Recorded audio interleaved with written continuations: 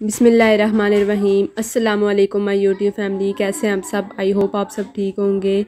अल्हम्दुलिल्लाह, मैं भी ठीक हूँ। आज की वीडियो स्टार्ट करते हैं। वीडियो स्टार्ट करने से पहले आप सबसे छोटी सी रिक्वेस्ट है, प्लीज़ मेरे चैनल को सब्सक्राइब कर दें और मेरी वीडियोस को लाइक करें, मेरे चैनल को सब्सक्राइब करें। तो आज की वीडियो स्टार्ट करते हैं। आज हम बना रहे हैं जी भंडारा। इस रेसिपी का नाम है जी भंडारा। तो ये रोटी से बनता है और आलू गोश्त का जो सालन होता है ना उससे बनता है। तो यहाँ पर हम ना रोटी की छोटे छोटे पीसेस कर रहे हैं। तो ये रोटी तवे पर बनाते हैं हम। तवे पर हमने बनाई है। तंदूरी में नहीं बनाई। तो इसके हम छोटे छोटे पीसेस कर रहे हैं। इसके ऊपर जो भी चीज़ें हमने डालनी है ना, वो सारी आपको दिखाएँगे, आपके साथ शेयर करेंगे।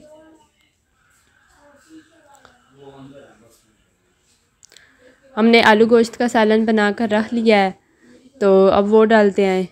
इसका थोड़ा जो शोरबा होता है ना, वो पतला रखना होता है। हम सारा शोरबा जो है ना, इसके ऊपर डालेंगे।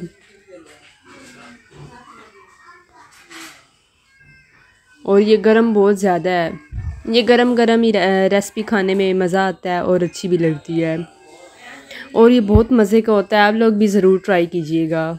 फ़र्स्ट टाइम मैं आपके साथ शेयर कर रही हूँ। तो लाजमी आप लोग ना ये रेसिपी ज़रूर ट्राई कीजिएगा। ये हम थोड़ी थोड़ी सी भी आप लोग बना सकते हैं, जैसे कि एक प्लेट या एक बाउल वहरा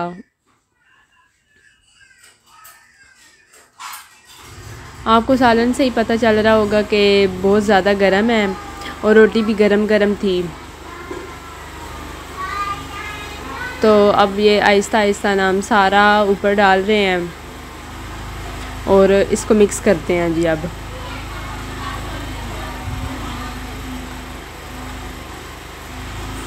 आपको थोड़ा देख कर लग रहा होगा कि ये इसमें रोटी थोड़ी ज़्यादा है, क्योंकि वो पूरी फैमिली ने इसमें, इसके अंदर से ही लेना था। और हम जब भी बनाए ना तो फिर थोड़ा सा इस तरह के ना ज़्यादा बना लेते हैं।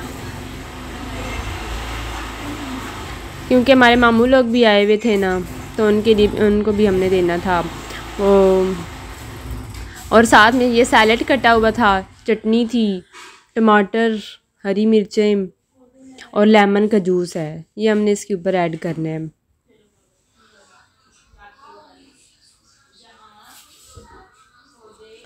तो अब सारा शोरबा इसके ऊपर हमने ऐड कर दिया है, डाल दिया है। अब बस नीचे बोटियाँ ही रह गई हैं। वो भी हम ऐड कर देते हैं लास्ट पर सारी ना।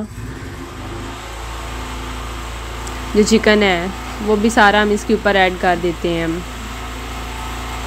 अब हमने अच्छी तरह मिक्स कर लिया है तो इसके ऊपर अब सैलड डालेंगे।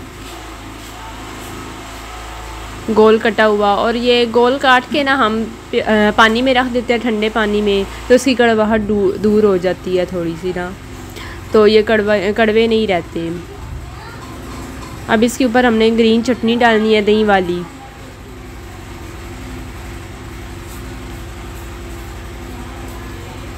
तो इसके ऊपर ये डाल देंगे हम। चटनी फिर ये टमाटर कटे हुए हरी मिर्चें।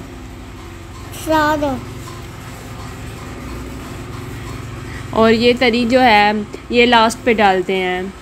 जो गोश्त का हमने सालन बनाया था ना वो, और ऊपर लेमन जूस भी डालेंगे ताकि ये थोड़ा स्पाइसी और खट्टा खट्टा लगे। ऊपर हम तरी ऐड कर रहे हैं। तरी लास्ट पे डालनी होती है, इसका अपना ही मज़ा होता है। और ये इतनी अच्छी लगती है ना, इससे ना लोग इसकी अच्छी आने लग पड़ती है। आपके मुँह में भी पानी आ रहा होगा। आई होप आपको मेरी ये रेसिपी अच्छी लगी होगी। सो प्लीज़ मेरी वीडियोस को लाइक करें और इस मेरी रेसिपी को ना आप कमेंट में लाजमी बताइएगा कि आपको ये रेसिपी कैसी लगी है। तो अब ये ऐसे ही, अब ये हमारी बिल्कुल तैयार है।